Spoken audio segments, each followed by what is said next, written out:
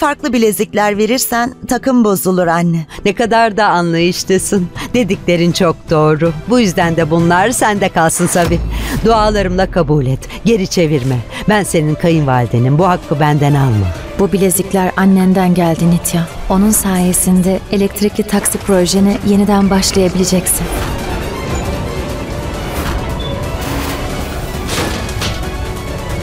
Nitya! Sakın atölyeye bir şey yapma. Yoksa her şey mahvolabilir. Dinle. Artık çok geç. Nitya. Her Halimle Sev yeni bölümüyle yarın Kanal 7'de.